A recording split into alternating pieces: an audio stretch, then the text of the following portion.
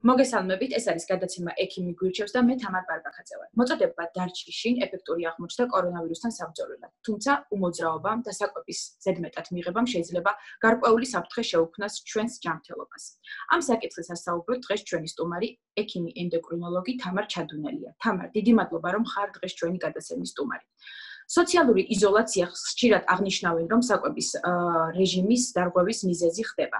უმოძრაობა, სუფთა ჰაერის დეფიციტი, ამ პერიოდმა შეიძლება უარყოფითი გავლენა მოახდინოს ადამიანის ჯანმრთელობაზე. მოდით მოგვიყევით ამის შესახებ. მოგესალმებით პირველ რიგში, მივესალმებით ჩვენს მაყურებელს. იზოლაციის პერიოდში მუდმივად სახლში ყოფნა ნამდვილად ზრდის ტონის მატების რისკს. თუმცა დღეს COVID-19-ის გავრცელების შესამცირებლად ნამდვილად იდეალურია მუდმივად სახლში ყოფნა. სოციალური იზოლაციის რეჟიმი. თავის მხრივ კი ასეთი უჩვეულო რეალობა ბევრ სირთულესაც შეუქმნის ადამიანს. მნიშვნელოვანია ამ პერიოდში დიდი ყურადღება მივაქციოთ ჩვენს ყოველდღიურ რეჟიმს და არ გავზარდოთ ტონის მატების რისკი. იზოლაციის პერიოდში თავისუფალი გრაფიკის შესაბამისად შეიძლება დაირღვეს კვების ჯერადობა, კვების განრიგი, რაც აქამდე გარკვეულწილად იყო დამოკიდებული ჩვენს ყოველდღიურ სამუშაო გრაფიკზე. ასევე დღის განმავლობაში დროის დიდ ნაწილს ხშირად სამზარეულოსთან ახლოს ვატარებთ, შესაბამისად ყურადღებასაც ხშირად იქცევს გარკვეული სახის პროდუქტები, მაგალითად კვილეული, თხილეული, ცომეული და სხვა რაც ზრდის წახემსების ეპიზოდებსაც. ეს კი ხდება ზონის მატების კიდევ ერთი მიზეზი. მნიშვნელოვანი ფაქტორები, რაც იზოლაციის პერიოდში საფრთხეს უქმნის ადამიანის ზონას და ზრდის ზონის მატების რისკებს, არის არარეგულარული საუზმე, გვიან საკვების მიღება, ძილისი და ხშირი წახემსება. თუმცა გარდა ამისა, იზოლაციის პირობებში მუდმივად სახლში ყოფნის დროს თავისთავად მცირდება ფიზიკური აქტივობაც. საკვებით მიღებული ენერგია მუდმივად სახლში ყოფნის პირობებში შეიძლება სრულად ვერ დაიხარჯოს და გახდეს მისეზი წონის მატებას. სწორედ ამიტომ საკმარისი ყურადღება უნდა მიექცეს როგორც კვების რეჟიმს, რაციონს, ასევე ფიზიკური აქტივობის გაზრდას სახის პირობებში. იზოლაციის დროს თუ არ გამოვნახავთ დროს ფიზიკური აქტივობისთვის, ტონის მატება ჩვეულებრივი კვების ფონზე, რა თქმა უნდა, იქნება გამომდინარე იქიდან, რომ არ ხდება მიღებული ენერგიის სათანადოდ დახარჯვა. ხოლო თუ რაციონსაც კბილეულით, ცომეულით დავტვირთავთ, ტონის მატების რისკები კიდევ უფრო გაიზრდება. შესაბამისად სასურველია რომ ბინის პირობებში მსუბუქად ვივარჯიშოთ თუნდაც მარტივი აერობიკა იდეალური იქნება 30-60 წუთი ფიზიკური აქტივობა დღის განმავლობაში კვირაში 3-5 დღე. საწყის ეტაპზე თავისთავად ვარჯიშის ხანგრძლივობა უნდა იყოს მინიმალური და საშუალოდ 10-15 წუთი სრულიად საკმარისია ხოლო ეტაპობრივად შეძლებს დაგვარად ვარჯიშის დრო უნდა გაიზარდოს იმისთვის რომ იზოლაციის პერიოდში არ შეგვექმნას ჭარბი წონის პრობლემა, ეს პერიოდი უნდა გამოვიყენოთ სწორად. გვაქვს მეტი თავისუფალი დრო, შესაბამისად მოსახლეობას უფრო მეტად შეუძლია გამონახოს დრო საკუთარი თავისთვის და იზრუნოს ჯანმრთელობას. აა როგორც აღნიშნეთ, თავისუფალი რეჟიმი აა შეიძლება ძილის დარღვევის მიზეზიც გახდეს. ანუ შეიძლება რაღაცა უძილობის ან ზედმეტი ძილის ესეც თუ აისახება თუდად ჯანმრთელობაზე. ნამდვილად სოციალური იზოლაციისას არსებული თავისუფალი გრაფიკი დროთა განმავლობაში ასევე ზრდის რისკსაც რო დღეღამური რეჟიმი აერიოს. რეგულარულად გვიან გაღვიძება კი ქმნის გვიან დაძინების პრობლემასაც. არასწორი დღეღამური რეჟიმის პარალელურად ირღვევა კვების რეჟიმი, ანუ შესაბამისად, როდესაც გვიან ვიღვიძებთ, საუზმეც არის უფრო დაგვიანებული. ხშირ შემთხვევაში დარღვეული ძილის რეჟიმიც არის ერთ-ერთი რისკ ფაქტორი წონის მომატების. თამარ თქვენ ისაუბრეთ, მაგრამ კიდევ ერთხელ განმეორდები, როგორ მოიქცეთ იზოლაციის პერიოდში, რა რჩევას მისცემთ მოსახლეობას, როგორ მოიქცენ, რომ მაქსიმალურად თავიდან აირიდონ ჭარბიწონა და მასთან დაკავშირებული პრობლემები. დიახ, იზოლაციის პირობებში იდეალური გამოსავალი არის ჩვენი ყოველდღიური განრიგის მოწესრიგება. მიუხედავად იმისა, ქვეჩქარება თუ არა სამსახურში, ჩვევაში უნდა გადავზარდოთ დროული გაღვიძება, დაძინება და გამოვიმუშაოთ ერთსა და იმავე დროს კვების რეჟიმი, სწორად შერჩეული რაციონით. და რაც ყველაზე მნიშვნელოვანია, თუნდაც კვირაში 3 დღე გამოვყოთ დრო ვარჯიშისთვის. გარდა კვების, ძილის და ფიზიკური აქტივობისა იზოლაციის პირობებში, ასევე ემოციურ ფონზეც უნდა ვიზრუნოთ.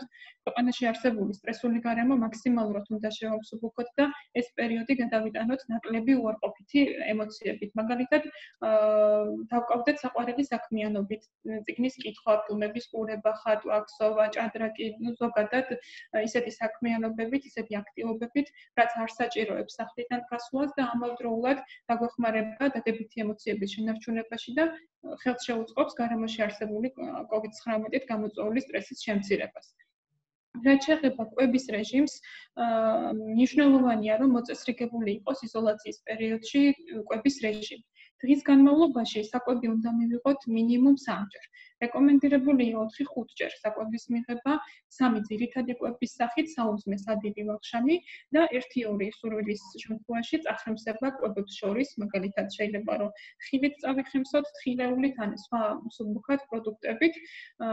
თვითონ საუზმეც არის ძალიან მნიშვნელოვანი რომ იყოს დროული, უნდა ვისაუზმოთ გაღვიძებით ან არაუგვიანეს 1-2 საათის განმავლობაში კვებებს შორის შუაღედი არ უნდა აჭარბებდეს 4 საათს.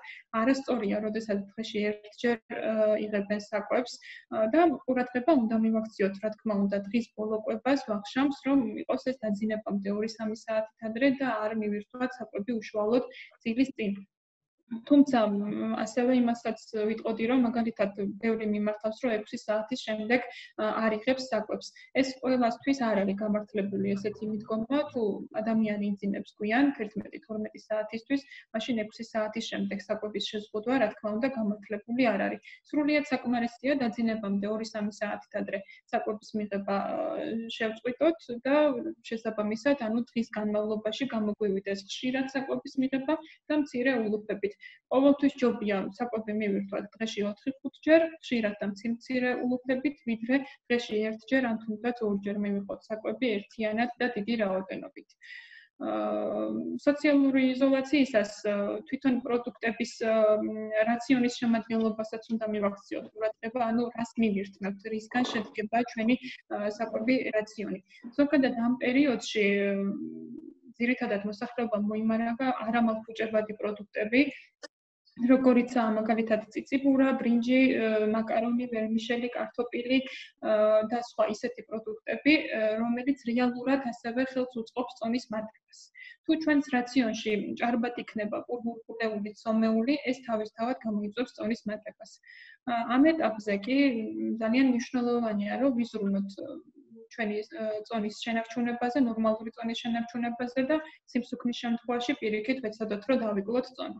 ამიტომ რეკომენდირებულია რაციონი მაქსიმალურად შევავსოთ ბოსტნეულით, რომელიც ასევე შედარებით ხანგრძლივად ინახება.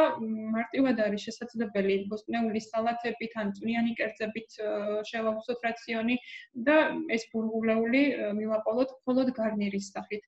აი მარტივად რო წარმოვიდგინოთ, მაგალითად, ერთი თებში ბრინჯის ფლავის ნაცვლად, ჯობია რომ ეს ბრინჯის ფლავი გავანახევროთ თებში და თებში შევავსოთ ბოსტნეულის სალათით. ასეთი რაციონი იქნება უფრო მრავალფეროვანი, არ იქნება ერთფეროვანი, არ იქნება მხოლოდ პურპულეულისგან შემდგარი და შესაბამისად არც იქნება ძალიან ხელის შემწყობი წონის მომატების. აა გარდა ამისა, ძალიან მნიშვნელოვანია მივხვდათ ხილი, სხვადასხვა სახეობის სეზონური ხილი, აა ყოველდღიურად ზოგადად ცოცხალი ხილი და პოსტნეული ეს არის ვიტამინების და მინერალების წყარო.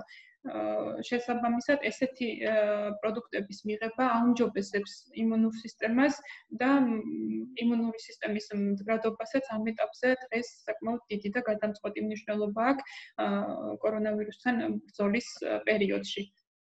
განსაკუთრებით იმუნური სისტემის გასაუმჯობესებლად მნიშვნელოვანია, რომ C ვიტამინით დიდარი პროდუქტებით დავიტვირთოთ ხილი და ბოსტნეული C ვიტამინს, რომელიც შეიცავს, ეს არის მაგალითად მარწყვი, პორტოხალი, ბაშლი, ლიმონი, კივი, ბროკოლი, ბულგარული წიწაკა, პომიდორი და სხვა პროდუქტები, რომელიც არის C ვიტამინით დიდარი და ეხმარება იმუნურ სისტემას გაუმჯობესებაში. კარგი იმუნური სისტემის ფონზე კი, რა თქმა უნდა, ნებისმიერი ინფექცია უფრო მსუბუქად, უფრო იულ ფორმებში გადაიტანება.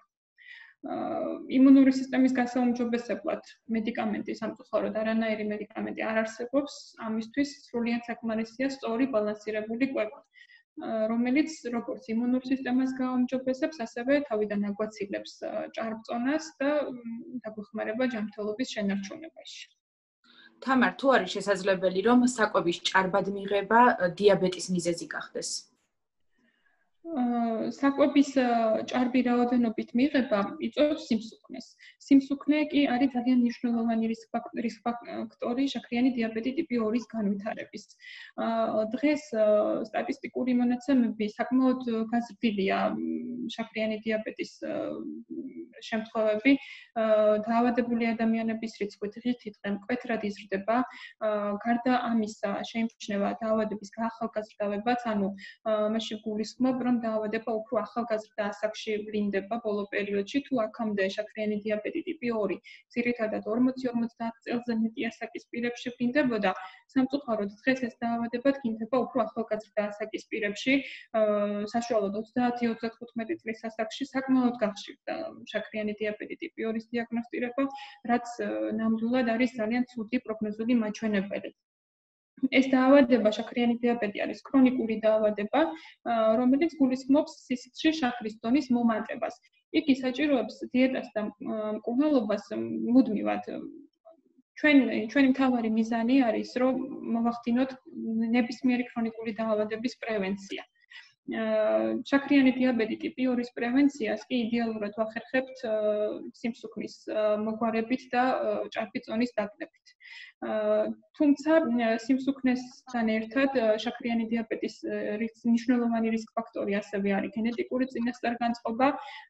ანუ თუ მის მშობლებს, ბებია, ბაბუას, და-ძმას აქვს ან ქონდა შაქრიანი დიაბეტი ტიპი 2, ნიშნავს იმას, რომ აქვს გენეტიკური წინასწარგანწყობა ამ დაავადების გამოვლენის. ხშირად არასწორად თვლიან, რომ თუ შაქრიანი დიაბეტი მაგალითად ბაბუას ახლახანს გამოუვლინდა, რატომღაც ფიქრობენ, რომ მათ არ აქვთ დაავადების გენეტიკური წინასწარ განწყობა. მოსახლეობა ხშირად მოიხსენიებს როგორც შეძენილი, ასე ვთქვათ, შეძენილი შაქრიანი დიაბეტი და თვლიან, რომ მათ არ აქვთ მიდრეკილება ამ შემთხვევაში შაქრიანი დიაბეტის გამოვლენის, რაც რა თქმა უნდა არასწორია. ჩვენს ახლო ნათესავებში გამოვლენილი ნებისმიერი დაავადება ეს არ ეხება მარტო შაქრიან დიაბეტს, ნებისმიერი დაავადება გამოვლენილი ნებისმიერ ასაკში, რა თქმა უნდა, არის გენეტიკური წინასწარ-განწყობა და ეს ნიშნავს იმას, რომ გვაქვს მიდრეკილება აღნიშნული დაავადების გამოვლენის. თუმცა ეს ნიშნავს, რომ არის მხოლოდ მიდრეკილება. იმისთვის, რომ დაავადება გამოვლინდეს, მას ჭირდება ხელშემწყობი ფაქტორები, ამ შემთხვევაში სიმსუქნე არის ერთ-ერთი მნიშვნელოვანი ხელშემწყობი ფაქტორი შაქრიანი დიაბეტის გამოვლენის. განსაკუთრებული ყურადღება მართებთ იმ პირებს, ვისაც გენეტიკურად აქვს წინასწარ-განწყობა შაქრიანი დიაბეტის, ანუ თქვათ ბებიას, ბაბუას, ბიძას ან ნებისმიერ ახლონათესავს აქვს ან ქონდა შაქრიანი დიაბეტი, უნდა იზრუნოს ესეთმა ადამიანმა თავის წონაზე, რომ თავიდან აიცილოს სიმსუქნე, ჭარბი წონა და თავიდან აიცილოს შაქრიანი დიაბეტის განვითარება. თამარ, იმ ადამიანებს რას ურჩევდით ამ პერიოდში, ვისაც უკვე აქვს შაქრიანი დიაბეტი? დიახ. აა შაქრიანი დიაბეტის მქონე პირებს, რა თქმა უნდა, ურჩევდი, რომ იდეალურად მოაწესრიგონ სისხლში შაქრის დონე, რაც მინიმუმამდე შეამცირებს შაქრიანი დიაბეტით გამოწვეული გართულებების რისკებს.